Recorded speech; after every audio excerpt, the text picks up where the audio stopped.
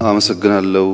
ሶስቱንም አቅራቢዎች ባለፈው ካስቀመጥነው አቅጣጫ አንጻር ተጨማሪ ግብአት ሊገኝባቸው የሚችሉ መድረኮችን ፈጥረዋል። ዋናው ስለ ጉዳዩ በኢንዱስትሪው ተዋናይ የሆኑ ኃይሎች ተግባቦት እንዲፈጥሩ የጋራ ግንዛቤ እንዲወሰድ ከሂደቱ እንደ ሀገር ምን እናገኛለን፣ ምንስ እናጣለን፣ የምናጣውን ቀንሰን የምናገኘውን እንዴት ማስፋት እንችላለን የሚንጠባጠቡ እውቀቶች በሂደቱ በቀጥታ የማይሳተፉ ኃይሎች ግን ያላቸውን ጠቃሚ እውቀት ሚስ እንዳናደርግ መድረኮቹ ብዙ ልምድ፣ እውቀት የተገኘባቸው እንደሆኑ መገንዘብ ይቻላል። ተሳትፎም በራሱ ብዙ ዜጎች ስለ ሂደቱ ግልጽ የሆነ ግንዛቤ ካላቸው ሌብነትን ለመቀነስና ሂደቱ ለሀገር በሚጠቅም መንገድ ውጤታማ እንዲሆን እድል የሚሰጥ መሆኑን ያሳያል። ባለፈው በጋራ ስለሆነ አቅጣጫ ያስቀመጥነው ሶስቱ መድረኮች የሰሩትን ስራ ሪፖርት ስላቀረቡ ከዚህ አንጻር በኢንዱስትሪው ተጨማሪ ለዛሬ መድረክ ቢነሳ ብንወያይበት የሚባል ጥያቄ አስተያየት ካለ መድረኩን ልክፈትላችሁና ጥያቄና አስተያየት ተቀብለን በጉዳዩ የጋራ ምክክር አድርገን በቀጣይ ሊሰሩ ስለሚገባቸው ስራዎች አቅጣጫ ብናስቀምጥ መልካም ይመስለኛል። ጥያቄ አስተያየት ካለ ባለፈው ተወያየ ነው። እናም በተሰራው ስራ አሁንም ቀሪ ነገር ካለ የሚነሳ እሺ፣ ከኋላ ክቡር ዶክተር ኢዮብ በቀረበው ሪፖርት ላይ ስራ አጥነትን በትልቁ ይቀንሳል የሚል አይቻለሁ እና ይሄ በምን መልክ እንደቀየረ ወይም የሚቀይርበትን አቅጣጫ ወይም እስካሁን ድረስ የቀየረው ነገር ካለ ዝርዝር አላየሁም። ግን ይሄ የስራ አጥነቱ በጣም ያሳስበኛል። እኔ ሁላችንም እንደሚያሳስበን ይገባኛል። እኔ የማይበት angle ግን ወጣቱ ህብረተሰባችን ስራ ከማጣቱና frustrate ከመሆኑ ባሻገር ስራ አጥነት ሲበዛ ለፋሽዝም በር ከፋች እንደሆነ ከጀርመንም ከጣሊያንም ከጃፓንም መማር እንችላለን። ፋሽስት የሆኑት ወይም ናዚ የሆኑት የስራ አጥነት ብዛት ተጠቅመው ነው ወደዛ ደረጃ የደረሱት። ስለዚህ አሁን ያለው የስራ አጥ ብዛት በጣም ይሰማኛል። እውነቱን ለመናገር day in day out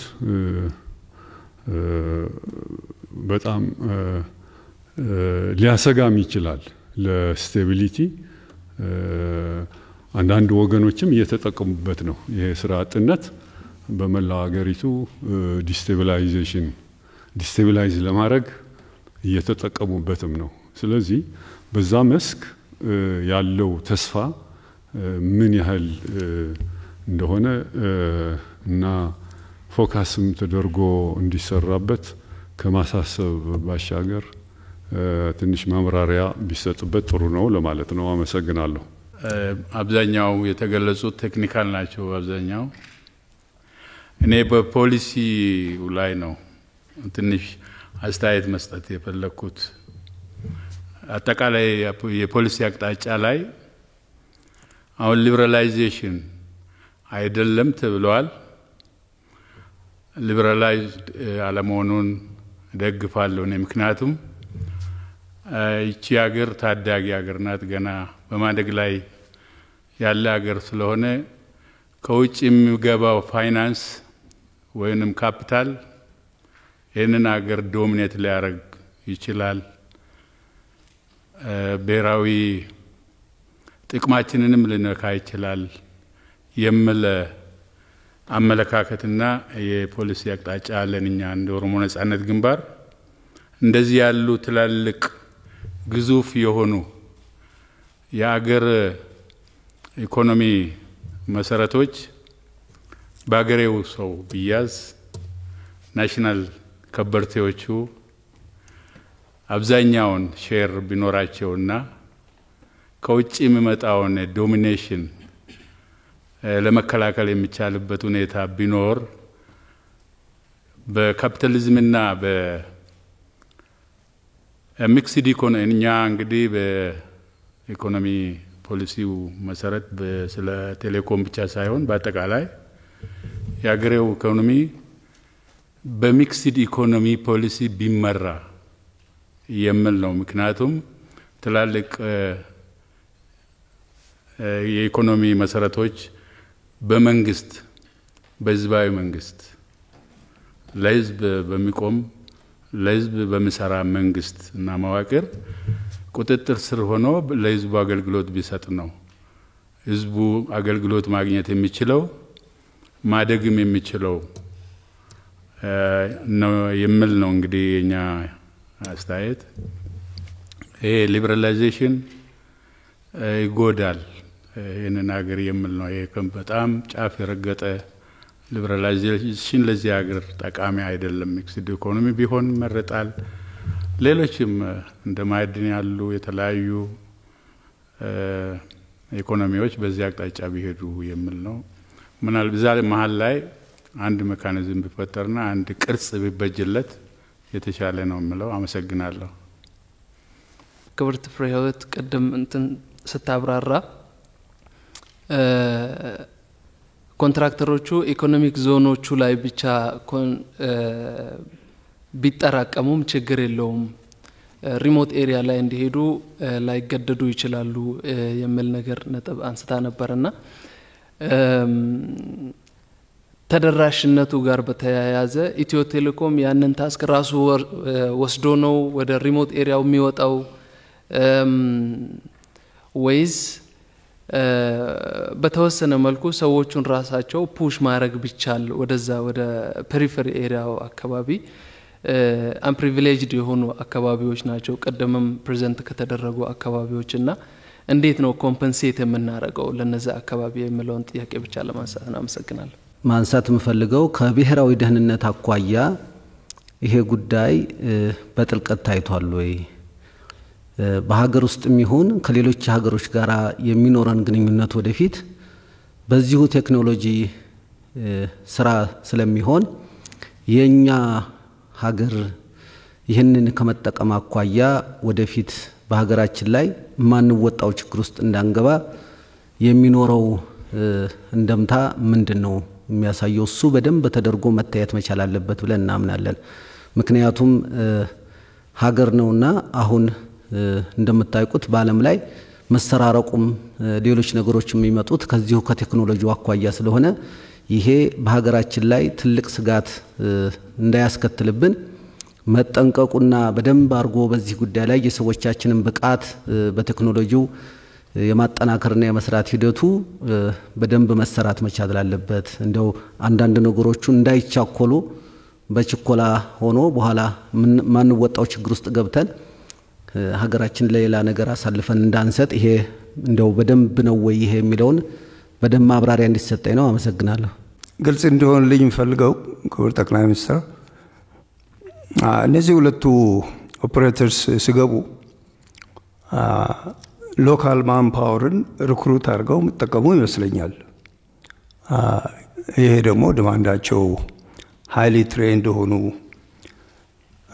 በመንግስት እጅ ወይም በህዝብ እጅ ያለው ስልሳ ከመቶውም የሚፈልገውን manpower ይሻሙታል ወይ የሚል ስጋት አለኝ፣ ወይም ግልጽ አልሆነልኝም። ሁለተኛ እነዚህ private operators በሚገቡበት ጊዜ ባለሙያዎቹ compensation ወይም ደሞዝ በሚመለከት መንግስት ከሚከፍለው እና እነሱ በሚከፍሉት መካከል ሰፋ ያለ ልዩነት ቢኖር ሁሉም ወዴት flock እንደሚያደርግ ያስታውቃል። እና እዚያ መካከል የሚደረግ ድርድር ይኖራል ወይስ በገበያው አሸነፈው best minds and experience ይወስደዋል በምለው ነው የሚካሄደው? እዚህ አካባቢ ስላልገባኝ ነው። እና ሌላው አንዲት ነጥብ የተቆጣጣሪ ባለስልጣን በተቆጣጣሪነት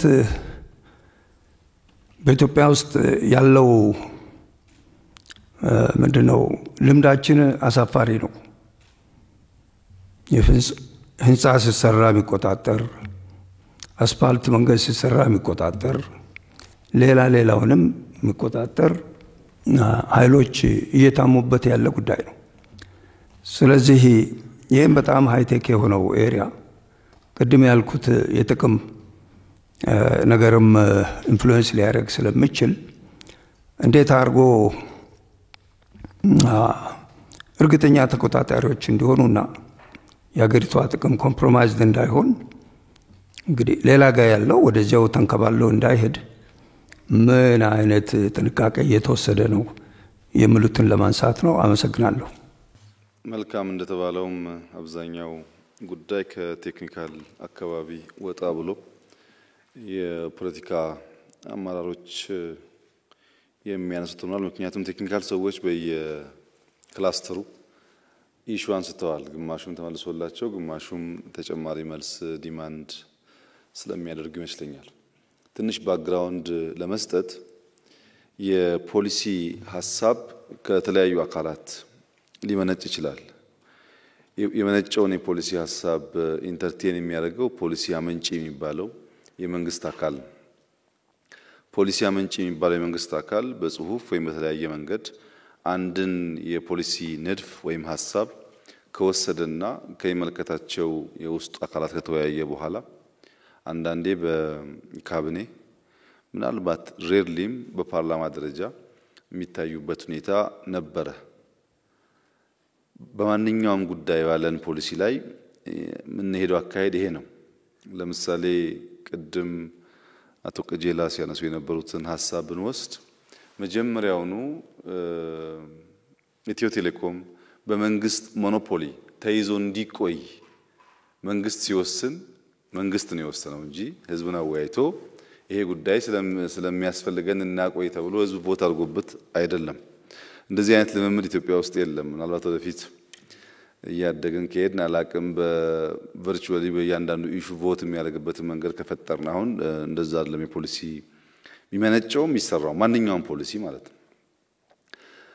ነገር ግን ይሄኛውን የቴሌኮም እና አንዳንድ ኩባንያን በሚመለከት ከሁለት ዓመት በፊት ሀሳቡን በገዢው ፓርቲ ስንወያይበት ከቆየን በኋላ በመንግስት በሚባለው አካል መደረግ አለበት ብለን ከወሰን በኋላ ወደ ፓርላማ ወስደን ስራውን ቀጥሉ ከተባል አሁን ሁለት ዓመት አልፎታል። ነገር ግን ልክ እናንተ ውስጥ ያለው ፍርሃት በመንግስቱ ውስጥ ስላለ እስካሁን ደሊቨር ካደረግናቸው ስራዎች በጣም እግራችንን የጎተትንበት ስራ ይሄ ስራ ነው።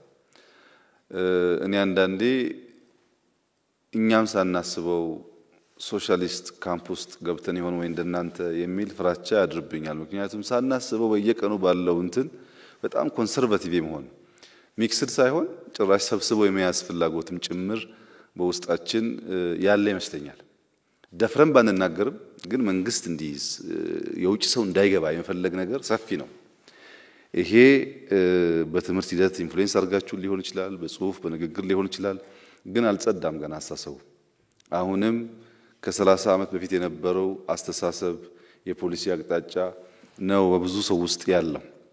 በዚህ ምክንያት ነው ትንሽ እግር የጎተት ነው። ነገር ግን advisory council አቋቁመን ነበር። በዚህ ረገድ ግብአት መስጠት ይችላሉ ያሰብናቸው ሰዎች ከፖለቲካውም ከቴክኒኩም። እነዚህ ሰዎች ሂደቱን በሚመለከት መንግስት ብቻውን ከሚሄድ ምንም እንኳን በፓርላማ ጉዳዩን እንድናስኬድ green light ያገኘን ቢሆንም በእውቀት ብናደርገው ይሻላል፣ እንዳንሰረቅ፣ እንዳንመዘበር በሚል advisory council አቋቁመናል። ብዙ የ consultant ኦች ጋር ተወያይተናል። አብዛኛው serious ጉዳይ የነበረው ቅድም ሲነሳ እንደነበረው regulatory body ጠንካራ መሆን አለበት ነው። አሁን ፕሮፌሰር መጨረሻ ያነሱትም ሁሉም ሰው የሚያነሳው ጠንካራ የሚቆጣጠር ተቋም ከሌለ ይህንን ስራ መስራት ያስቸግራል የሚል ከውስጡም ከውጭም የነበረው input እዚህ አካባቢ ነበር። እንግዲህ ከሪፎርም በኋላ በጠቅላይ ሚኒስትር ቢሮ ስር የሚጠራ ተቋም ስናቋቁም I think የመጀመሪያው ይሄ ተቋም ነው። ፖሊስን ሳይቀር ኢንሳን ሳይቀር ደህንነትን ሳይቀር ከዚህ ተቋም እንዲወጣ እና እያንዳንዱ ሚኒስቴር መስሪያ ቤት እንዲመራው እንዲቆጣጠረው የወሰነው የሪፎርም አካል ይህንን ተቋም ግን ከነበረበት ሁኔታ በአዲስ መልክ ተደራጅቶ በጠቅላይ ሚኒስትር ቢሮ ስር እንዲሆን የወሰነበት ዋናው ምክንያት የእናንተ ኮንሰርን ስለነበረ ነው። ጠንካራ መሆን አለበት፣ ለሚመጣውም ላለውም የሚያሰራ መሆን አለበት የሚል ሀሳብ ስለነበረ ነው። ከዚያ በኋላ ሰፋፊ ውይይቶች ሲካሄዱ የቆዩ ቢሆንም ይሄ መድረክ ብቻ ሁለት ጊዜ ተካሂዷል። ከዚህ መድረክ ውጭ ደግሞ በተለያየ መድረክ ብዙ ውይይቶች አካሄድናል፣ አሳታፊ እንዲሆን ለማድረግ በማሰብ እና ህዝብ እንዴት በዚህ ጉዳይ ላይ ይመክራል የሚል ሀሳብ የነበራቸው ይሄ እንግዲህ ህዝብ ማለት ማንኛውም ፖሊሲ በጉዳዩ ላይ እውቀት ያላቸው ሰዎች ማለት ነው እንጂ እያንዳንዱ ዜጋ vote የሚያደርግበት ኢትዮጵያ ውስጥ አሁን ምርጫ ብቻ ነው። በ constitution እንኳን vote አይደረግም። article ቢቀየር vote አይደረግም እንኳን በቴሌኮም ማለት ነው። ከዚያ የበለጠ ግን አሳታፊ እንዲሆን ሙከራ ተደርጓል። ይህ ሂደት ነው ህዝብ እንደማሳተፍ የሚቆጠረው እንጂ መቶ ሚሊዮን ሰው አሻራውን የሚያሳርፍበት ሂደት ሊሆን አይችልም። ግንዛቤው በዛ ቢወሰድ ጥሩ ነው። ይህ ስራ ያስፈለገበት ዋናው ምክንያት ሞኖፖሊ ብለን የምናስባቸው ነገሮች የራሳቸው የሆነ ጥቅም እንዳላቸው ሁሉ ጉዳትም አላቸው። ለምሳሌ አየር መንገድ እንውሰድ። እኛ ለስሞቻችን ለምልክቶቻችን ክብር የምንሰጥ እንዳይነካብን የምንፈልግ ዜጎች ነን፣ ይታወቃል። ነገር ግን የኢትዮጵያ አየር መንገድ በአፍሪካው ትልቁ አየር መንገድ በአፍሪካ ሊወዳደር የሚችል አየር መንገድ ሆኖ ሲያበቃ ትርፍ ላይ ብቻ center ያደረገ በመሆኑ መካከለኛና ከፍተኛ አውሮፕላን ላይ ያለው ብቃት በትናንሽ አውሮፕላኖች ላይ የለውም። አንድ ሰው አምስት ሰው አስር ሰው ስድስት ሰው ከዚህ አንድ ቦታ ሄዶ ውሎ መምጣት አይችልም። ኢትዮጵያ ውስጥ ኬንያ በሽበሽ ነው፣ ሱዳን አለ፣ ደቡብ አፍሪካ አለ፣ ኢትዮጵያ የለም። ትናንሽ አውሮፕላን አስር ሰው አስራ አምስት ሰው የሚይዝ አውሮፕላን ኢትዮጵያ ልካ የምታስጠግነው ኬንያ ነው። ትላልቆቹን ኤርባስ ግን ትላልቆቹን ቦይንግ ግን እዚህ እየመጣ ነው ጥገና የሚካሄደው ከሌላም ሀገር ማለት ነው። እና monopoly ሲባል ገንዘብ ላይ ብቻ ሲሆን የሚጎዳው ነገር አለ። ጉዳቱ ምንድን ነው? አሁን ትናንሽ አውሮፕላን ላይ ብቃት ቢኖረን ኖሮ አንበጣን በአጠረ ጊዜ ውስጥ እንከላከል ነበር። ከኬንያ ከሱዳን ክራይ የፈለግንበት ምክንያት ፓይለት ችግር ስላለብን የአየር መንገድ ልምድ ስለሌለን ጠንካራ አየር ኃይል ስለሌለን ሳይሆን ትኩረታችን እነዚህ የናቅናቸው area ዎች ጉዳት ሊያመጡ የሚችሉበትን ጊዜ ታሳቢ ያደረገ አይደለም። ይህን ትንሽ balance ማድረግ ያስፈልጋል። መንግስት የያዘው ብቻ ሳይሆን ሁልጊዜ ተወዳዳሪ መሆኑንና ውጤታማ መሆኑን ማወቅ ያስፈልጋል። ሁለተኛው service ነው። አሁን ቅድም አፑ ላይ አይታችሁ ከሆነ economic zone የተባለው በጣም ብዙ population የሚኖርበት አካባቢ ከተማ አካባቢ ብቻ ከሆነ ለኢትዮጵያ ቁልፍ የኢኮኖሚክ ዞን የአፋር ክልል መሄጃ ነው። ከሰው ብቻ አይደለም፣ እያንዳንዱ አስትንፋሳችን በዛ መንገድ ትመጣለች። ግን እንዳያችሁት ባዶ ነው ኔትወርኩ። ነገርየው እሳቤው አጠቃላይ ኢኮኖሚን መሸከም ሳይሆን የስልክ ነው። ስልክ ተነጋግሮ ሰዎች ብር መክፈላቸውን እንጂ እያንዳንዱን truck መቆጣጠር መቻል፣ እያንዳንዱ የነዳጅ ቦቴ መቼ እንደወጣ እንደገባ ማወቅ፣ እያንዳንዱን ወጪና ገቢ ንግድ ቁጥጥር ማድረግ አይደለም። service ኡ የሚያስፈልገው የሚገናኙ ሰዎች ተነጋግረው ብር መቁረጥ ብቻ ነው። ቴሌኮም ለዛ እንፈልገው እኛ ቴሌኮም እንፈልገው ኢኮኖሚውን ወደ ዲጂታል ኢኮኖሚ ለማሸጋገር የሚደረግ ጥረት ውስጥ ግብአት እንዲሆን ለዛ የሚያመች አልነበረም የኛ ሂደት። ከዚህ አንጻር አንድ ተደራሽነት ብቻ ሳይሆን revision የሚያስፈልጋቸው area ዎች እንዳሉ ታሳቢ ይወሰድ። አየር መንገዱም ይሁን የሆቴል ኢንዱስትሪውም ይሁን ቱሪዝም ይሁን አብዛኛው ነገር ሰው ቤት ተቀምጦ service መስጠትና መቀበል አይችልም፣ የባንክ ስርዓትን ጨምሮ። በነገራችን ላይ አንድን ገንዘብ ከአንድ ቅርንጫፍ አንድ ቅርንጫፍ ማሸጋገር ከፋክስ ወጥቶ ወደ ኔትወርክ የገባው አስር ዓመት አይሞላውም ኢትዮጵያ ውስጥ ፋክስ ነበር አሁን የሚደረገው እንትና ብር ልኮልሃል ተብሎ። ይሄ የሆነበት ምክንያት የዲጂታል ኢኮኖሚ እሳቤ የሁለት እና ሶስት ሰዎች የስልክ ንግግር ብቻ ሳይሆን ሁሉንም ሴክተሮች የሚነካ እንዲሆን ተደርጎ ባለመታሰቡ ነው። ሁለተኛው መፍጠር innovative service ላይ በማንኛውም ነገር ሰው የመፍጠር አቅሙ የሚበረታታው ውድድር ሲኖር ውድድር የራሱ የሆነ advantage አለው እና ዝም ብሎ ማንም አይነካብኝም ብሎ መያዝ ሳይሆን የሚቀናቀነኝ ኃይል አለ ብሎ ጊዜ ወስዶ ማሰብ፣ የተሻለ ነገር ለመስጠት መሞከር ሲኖር የተሻለ service እናገኛለን። በገንዘብም በብዙ መንገድ ውድድር ከሌለ innovation በእጅጉ ይጎዳል። ከ human capital አንጻር employment ብቻ ሳይሆን አዳዲስ service መስጠት መቻል ላይ አሁን ቴሌኮም ባለፉት አንድ ዓመት አንድ ዓመት ተኩል የጀመራቸውን አይነት ልምምዶች ብዙ አልነበረም። የዛሬ ሶስት አራት ዓመት ራሱ አንድ customer ገና ሲም ካርድ ሲያወጣ message እየላኩ more እንዲጠቀም encourage ማድረግ ኢትዮጵያ ውስጥ አይታወቅም። ለ roaming purpose ሰው ሲገባ ሌላ ሀገር እንደምንሄደው welcome ጥሩ ገብተሃል ተገናኝ እንደሚለው የኛ አሁን ነው ገና እየጀመረ ያለው።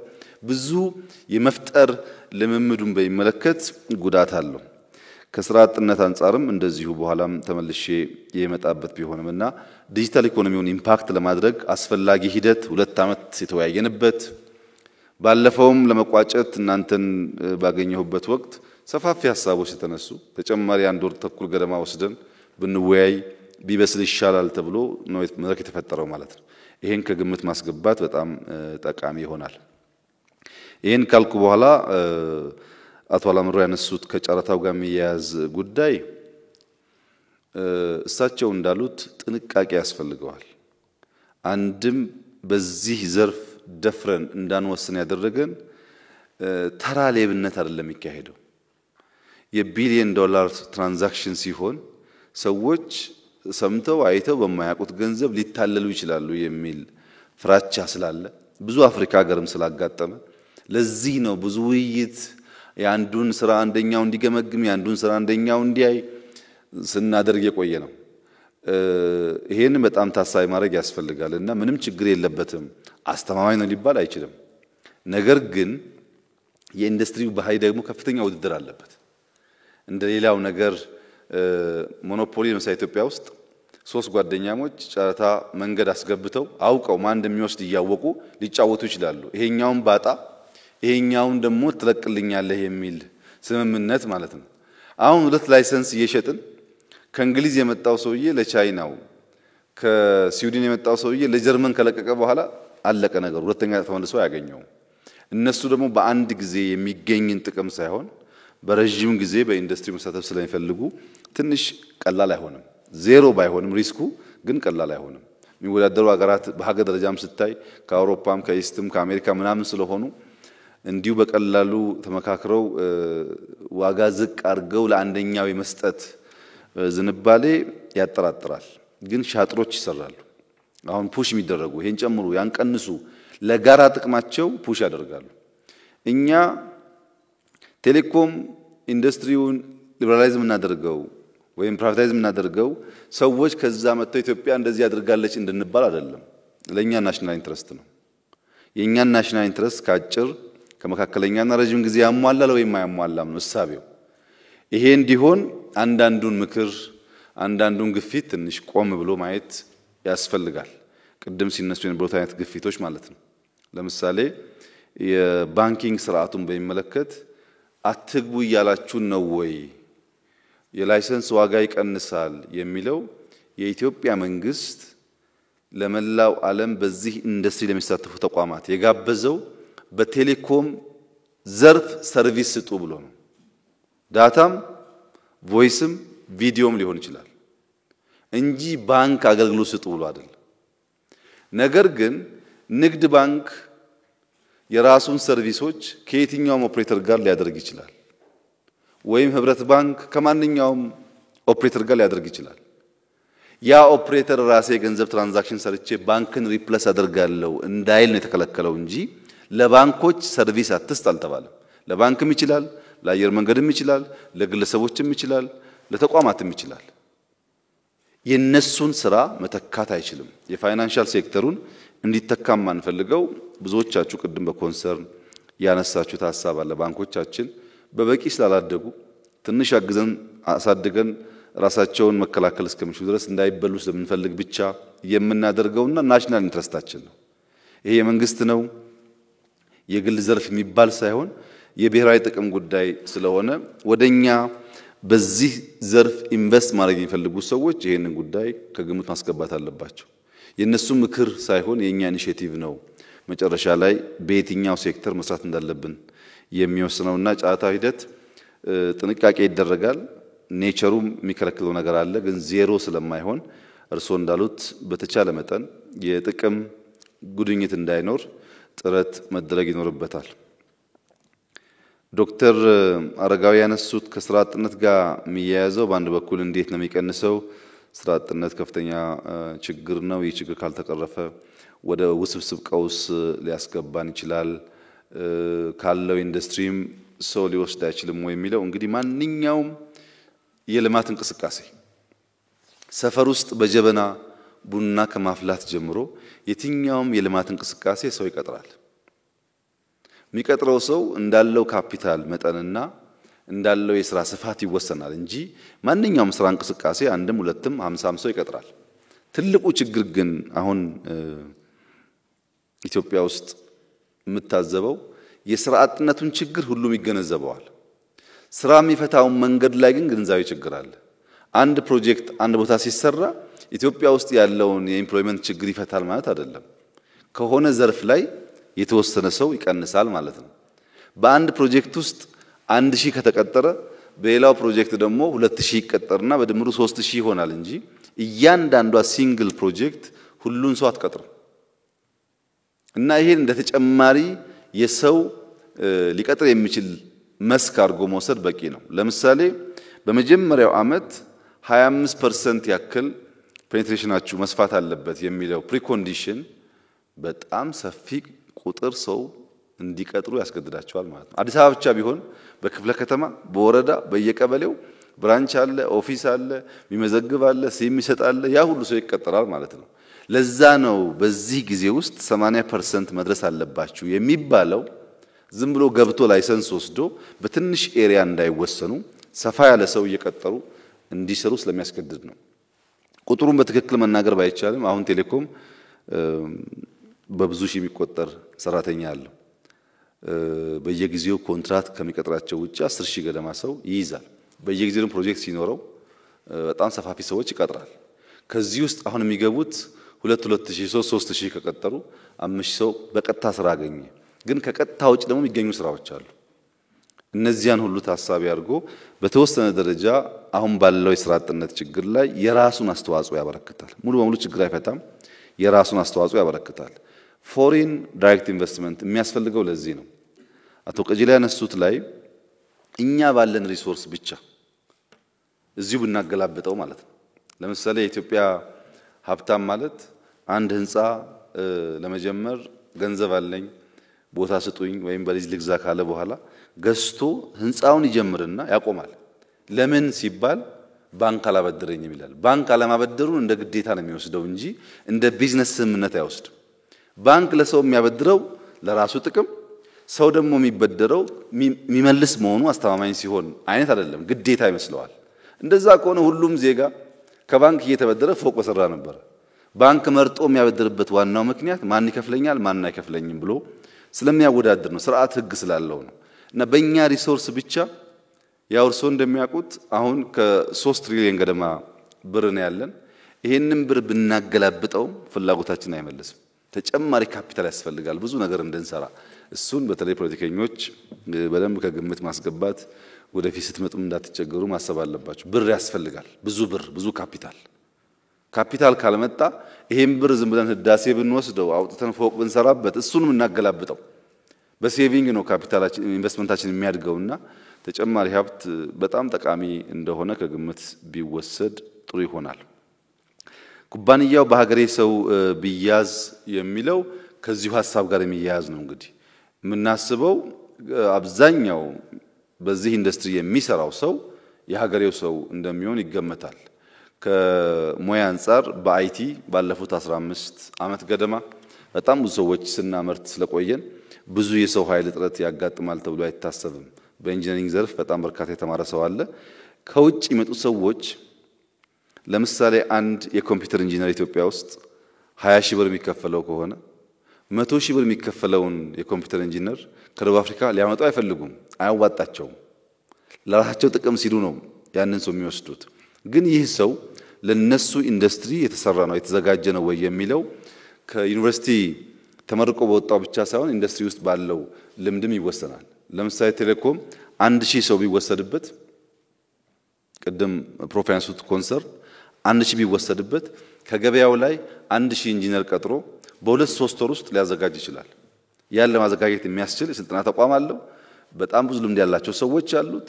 ለረዥም ዓመታት የሰሩ ሰዎች አሉት። እንደዛ ያደረገ ኢንዱስትሪ ውስጥ እንዲሳተፉ ሊያደርግ ይችላልና ከዛ አንጻር የሰው ኃይል እጥረት ብዙም አያሰጋም። እንዲያውም የምንፈልገውን ያክል ሰው በዚህ ዘርፍ ስራ ያገኛል አያገኝም ካልሆነ በስተቀረ በጣም ብዙ ሙያተኛ ግራጁዌት እያደረገ ባለበት ሀገር 2000፣ 5000፣ 10000 ሰው ማግኘት ብዛም ችግር አይሆንም። ከክፍያ ጋር የሚያያዘው ያ ውድድር ነው። ኢትዮ ቴሌኮም በክፍያ ያን ያክል ያነሰ ተብሎ የሚወሰድ አይመስለኝም አይመስለኝም። ደግሞም ገበያውን እያየ እንደ ትርፉ ልክ በየዓመቱ ለሰራተኛ የሚያደርገው ድጎማ አለ። እየተወዳደረ ከሚመጡት ኩባንያዎች ያንሳል፣ ሊወዳደር አይችልም የሚል እምነት ብዙ የለንም። እኛ ባለፉት ሁለት ዓመታት ስንሰራ የነበረው ማንኛውም ኃይል ከውጭ ቢመጣ ከዚያ ጋር ተወዳድሮ ሰርቫይቭ ማድረግ የሚችልበትን ስራ ነው ቴሌኮም ሲሰራ የቆየው። ብዙ የሚቸገር አይመስለኝም። ሊወዳደር ይችላል። በሚከፍሉት ልክም ይከፍላል። እነሱም ማያዋጣ ክፍያ አይከፍሉም። ትልቅ ክፍያ ከፍለው ትርፋቸውን መቀነስ አይፈልጉም። እንደዚያማ ከሆነ ለእኛ ጥሩ ነበር። እንደውም local employ በዛ ከከፈሉልን፣ ግን አያደርጉትም። አንዱ እኮ ኢትዮጵያ የሚፈለገው ለሰው የሚወጣው ሀብት ውስን ነው፣ የሚከፈለው ክፍያ ዝቅተኛ ነው የሚለው አንዱ investor የሚሳብበት መንገድ ራሱ እሱ ነው እንጂ ውድ ዋጋ በመክፈል ከኢትዮ ቴሌኮም ብዙ የራቀ ነገር ያደርጋሉ ብዬ አልገምትም። እንዲያውም አንዱ የመጀመሪያው ስራቸው ኢትዮ ቴሌኮም ለእያንዳንዱ የስራ job title ምን ያክል ይከፍላል የሚለውን አጥንተው የጨረሱ ይመስለኛል። ከዛ የራቀ ስራ የሚሰራ አይመስለኝም። ከሰሩም ግን ኢትዮ ቴሌኮም ከነሱ የማያንስ ስለሆነ ሊወዳደር ይችላል ብዬ አስባለሁ። mixed economy ነው እኛ የምንከተለው ያሉት፣ ያው እኛ mixed economy ስለማንከተል እንግዲህ የእናንተ ፖሊሲ የበለጠ ተቀባይነት አግኝቶ ከተመረጣችሁ የእኛም ፖሊሲ ትታችሁ በ mixed economy ትሄዳላችሁ። mixed economy በደርግ ዘመን ተሞክሮ የነበረ ባለፉት ሰላሳ ዓመታት ያው እንደሚያውቁት የቀረ ነገር ነው። ምናልባት እናንተ የምታስቡበት መንገድ ካለ ያን ፖሊሲ ተውት፣ ለህዝብ መሸጥ ነው። አሁን ባለው ሁኔታ ግን የካፒታሊስት ስርዓት ነው እኛ የምንገነባው። በካፒታሊስት ስርዓት ውስጥ የብሔራዊ ጥቅምን በተቻለ መጠን በተቻለ መጠን አሳልፎ ላለመስጠት ጥረት የሚያደርግ አይነት approach ነው የምንከተለው። ይሄን በግልጽ በፕሮግራማችን ያስቀመጥነው ስለሆነ አሁን የፖሊሲ ጨረታ እዚያ አናቀርብም። በምርጫ ጊዜ ለህዝብ ብናቀርብ more የተሻለ ይሆናል። remote area አይገደዱም አለች ወይዘሪት ፍሬህይወት ለተባለው እሷን እንደተረዳሁት ሀሳቡ እንደዛ አይደለም። አንድ ኩባንያ በሚያዋጣው ኤሪያ ላይ ቢወሰን ፍላጎቱን ቢያሳይ ነውር አይደለም። እኛ ግን በተለያየ መንገድ በፈንድም በፖሊሲ አቅጣጫም እንዲያሰፋ እናደርጋለን የሚል ሀሳብ ነው ያነሳችው።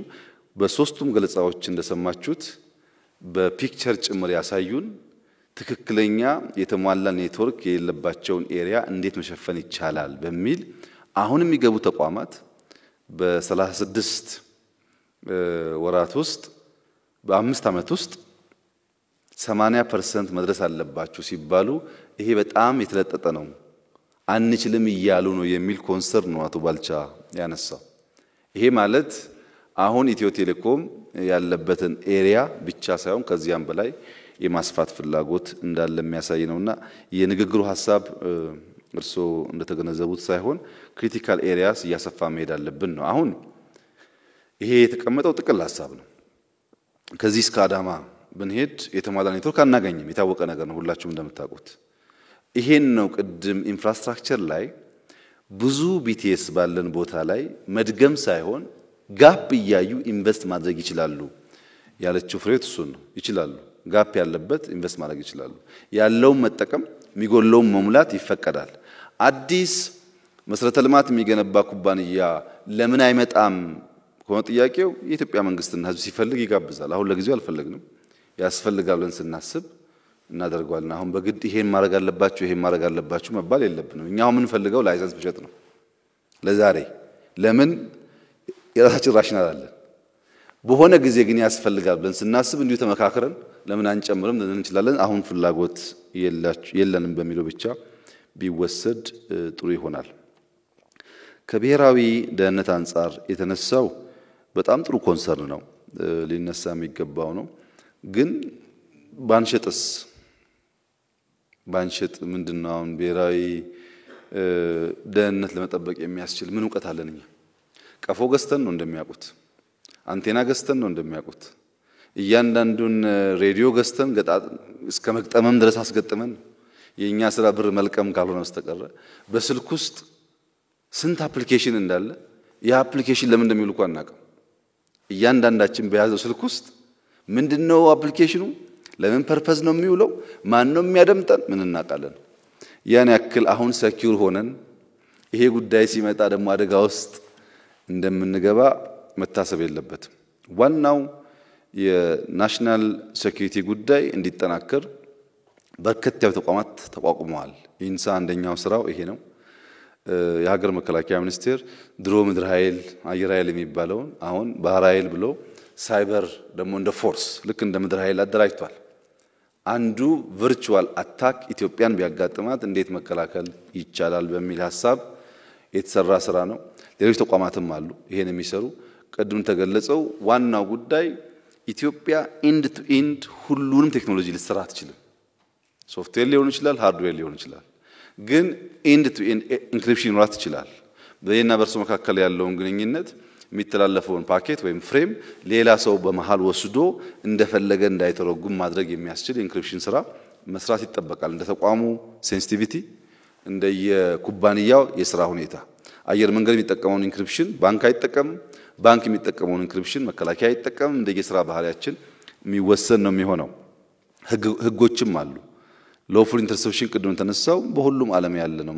ብዙዎቹ መንግስታት ቴሌኮም የላቸውም ብዙዎቹ ግን ይሄ የተፈቀደ የሚታወቅ አሰራር ስለሆነ በዚያ ይሄዳሉ። እንዲያውም በዚህ ረገድ ያለውን gap ለማየት ለመስራት ብዙ እድል እናገኛለን። በጣም ብዙ ሙያተኞች ኢትዮጵያ አላት። ማይክሮሶፍት ብንሄድ በጣም ብዙ ልጆች አሉ። በየቦታው ትላልቅ ኩባንያ ውስጥ ያሉ ልጆች ይሄ አንድ gap ከሆነ መጥተው በዛ area ለመስራት፣ ለማስተማር፣ ለማደግ እድል የሚሰጥ ይሆናል። አብዛኛው ሀገር ከ national security ጋር የሚያያዘው ጉዳይ በ attack የተደረጉ እሱን እየዘጉ attack የተደረጉ ነው የሚጠነክሩት ሁሉም ሀገራት እንጂ ዝም ብሎ ብቃት አለኝ ሁሉን አመርታለሁ ሁሉም ቢመረት የሚጠቃበት መንገድ አለ backdoor ስለሚፈለግ። ነገር ግን አሁን ባንኮች የሚያደርጉት attack የሚያደርግ ሰው ቀጥረው system ኤን attack አድርግልኝ፣ attack ካደረግ ከፍልሃለሁ ይሉና ባንኮቹን ቁጭ ብሎ attack እያደረገ ውሎ backdoor አግኝቶ ገብቶ የሆነ ነገር ማድረግ ሲችል ባንኮች ይከፍሉታል። ethical hackers ይባላሉ። ethical hackers ባንኮች እንዳይዘረፉ በሌሎች ኃይሎች እንዳይዘረፉ በየጊዜው system እንዲጠነክር የሚያደርጉ ናቸው። እዛ የሚያስፈልገውን system መከላከያ አይፈልገውም። አንዳንዱ የ encryption tool ይገዛል፣ አንዳንዱ develop ያደርጋል እና እንደየተቋሙ ባህሪ የሚለያይ ሆነው አሁን ባለው digital world እኔ 100% secure ነኝ ማለት ግን አይቻልም። በቃ ሁልጊዜም ስንጠቀም የምንጠቀመው አሁን ያለው ቴክኖሎጂ አየር ላይ እንደተበተነና አስር ሰው ወስዶት ስምንቱ ባይችል ሁለቱ ሊችል እንደሚችል ማሰብ ነው። በዚህ አግባብ ነው communicate ማድረግ የሚቻል ሁሉ ነገር መከላከል የሚቻልበት እድል የለም። ምክንያቱም ትላልቆቹ ለእኛ ብለው ሳይሆን እርስ በርስ ባላቸው competition አንዱ የአንደኛውን እያጠቃ በቂ መረጃ ከወሰደ በኋላ ያንን system ደግሞ ይሸጠዋል።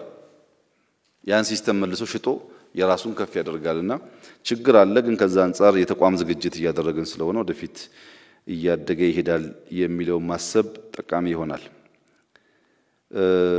ከሰው ቅጥር ጋር ተያይዞ እንዳነሳው ነው። ክፍያም የሰው ቅጥርን በሚመለከት በተወሰነ ደረጃ በ engineering ዘርፍ ያሉትን ሰዎች ተጨማሪ የስራ ቅጥር እንደሚገኝ ይጠበቃል። በ competition ኡ የተሻለ ክፍያ የተሻለ ቅጥር እየሆነ ይሄዳል። ከቴሌኮም ሰው ወጥቶ ይመናመናል የሚል ፍራቻ ብዙ የለኝም። እኔ በግል እንደዛ አላስብም። ቴሌኮም በአጭር ጊዜ ውስጥ በሺህ የሚቆጠሩ ሰዎች ወስዶ አሰልጥኖ ማዘጋጀት ይችላል ብዬ ነው የማስበው። አብዛኛውም ስራ automate እየሆነ ስለሆነ በሰው ብቻ የሚሰሩ ስራዎች አሉ፣ በሰው የማይሰሩ ደግሞ ስራዎች አሉ። በዚያ ደረጃ ችግር ይገጥመናል የሚል ፍራቻ የለኝም። አንዳንድ ሀገራት በርከት ያለ license ይጠዋል። ለምሳሌ ናይጄሪያን ብንወስድ በጣም ብዙ license ቸብችበዋል ሲጀምሩ የዛሬ 10 15 ዓመት። በዚያ ልክም የሰው ኃይል እጥረት አላጋጠመም። በነገራችን ላይ ደቡብ ሱዳንም ሽጣለች፣ ኬንያም ሽጣለች፣ ጅቡቲም ሽጣለች፣ ሶማሊያም ሽጣለች። በዚህ ያልተሳተፈ ሀገር ብዙ የለም። በአብዛኛው የአፍሪካ ሀገራት ይህንን ስራ ሰርተዋል። እኛ ግን እንዳልኩት በንግግር ካፒታሊስት ነን ብንልም በሬዲዮ እና በምናምን ስንሰማ የቆየነው ነገር በጣም ስለሚጫነን አልቻልንም አልቻልንም። በዚያ ምክንያት ነው እስካሁን የቆየነው። ግን ካለቀ ነው እርግጠኛ ሆኜ የምነግራችሁ ቴሌኮም ባለበት ይሞታል። በአዳዲስ ቴክኖሎጂ እያደገ እየተቀየረ ስለሚሄድ እኛ ቆመን ብዙ ነገር ይቀየራል። ያ እንዳይሆን በፍጥነት ለውድድር ምቹ የሆነ ነገር መፍጠርና ኢንዱስትሪውን transform ማድረግ ያስፈልጋል የሚለውን መውሰድ ጠቃሚ ይሆናል። regulatory በሚመለከት መጨረሻ ላይ prof ያነሱት በጣም ትክክለኛ concern ነው። አብዛኛው የኛ የተቋማት የቁጥጥርና በቁጥጥሩ ደግሞ ትንሽዬ ክፍያ መውሰድ ሰውየው ራሱ ትንሽዬ ክፍያ ከወሰደ በየመንገዱ እየፈቀደ የሚሄድበት በሕግ የማይገዛበት ልምምድ ነው ያለው። በአብዛኛው ተቋማት ያለው ችግር እሱ ነው። ይሄ እዚህ ከተደገመ በተለይ ስንጀምር ከተደገመ ችግር ነው። ከጀመርን በኋላ ኦፕሬተሮችም ጠንካራ ስለሆኑ እንዲህ በቀላሉ የሚለቁት አይሆኑም። ብዙ ፍትጊያ ይኖራል። መጀመሪያ ግን license ኡ ሲጀመር ይሄንን ስራ ጥንቃቄ ወስዶ መስራት ያስፈልጋል። እንግዲህ እናቶ ባልቻ ቢያንስ ለአስር ዓመታት በዚህ ኢንዱስትሪ ውስጥ ሲሰሩ ሲመሩ የቆዩ ሰዎች ናቸው። ምርጫም ሲካሄድ ይህን አካባቢ የሚመሩ ተቋም ሰዎች ስንመርጥም በጣም ሰፊ ስራ የተሰራው። ማን ልምድ አለው? ምን ማድረግ ይችላል? የኋላ ታሪኩ ምን ይመስላል? ምን ያክል ሊደለል ይችላል? የሚሉ ጉዳዮችን ለማየት ጥረት ተደርጓል ጥረት ተደርጓል። መቶ percent ስራቸውን ይሰራሉ ብሎ መናገር ቢያስቸግርም የተሻለ ግን deliver ያደርጋሉ የሚል እምነት አለ። ቁጥጥርም ይደረጋል። እምነት ብቻ ሳይሆን ቁጥጥር ይደረጋል፣ ክትትል ይደረጋል። በዚያ ሳቢያ የተሻለ ስራ ልንሰራ እንደምንችል ነው የሚገመተው። በመጨረሻ ያለኝ ምክር እንደዚህ አይነት ውይይቶች፣ concern ኦች የሚነሱበት ሀሳቦች የሚንሸራሸሩበት ሊሆን ይችላል።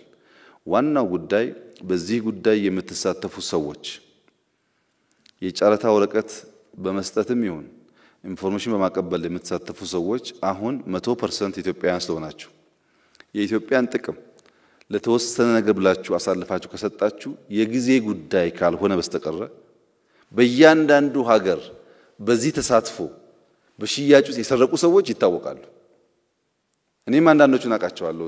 ሳውት ሱዳን ማን የመንግስት ሀብት ሽጦ ሀብታም እንደሆነ በስም ልናገር እችላለሁ። የሚደበቅ ነገር አይደለም። አንደኛ ብሩ ትልቅ ነው። ሁለተኛ ቶሎ የሚቀያየር ነገር አለ። ይታያል፣ የሚታይ ነገር ነው። አደራ ምላችሁ ነገር በተቻለ መጠን ከሌብነት የጸዳ የኢትዮጵያን ሕዝብ የማያሳፍር የምንፈልገውን ነገር የሚያሳካ ስራ ለመስራት ጥረት አድርጉ። ሰዎች ናችሁ። የሚያታልሉ ሰዎች ሊኖሩ ይችላሉ። ግን ትንሽ ጸና ብሎ ውስጥን አሸንፎ ይህንን ፈተና ማለፍ ያስፈልጋል። ይሄ እያንዳንዱ ግለሰብ የሚወስነው ውሳኔ ነው።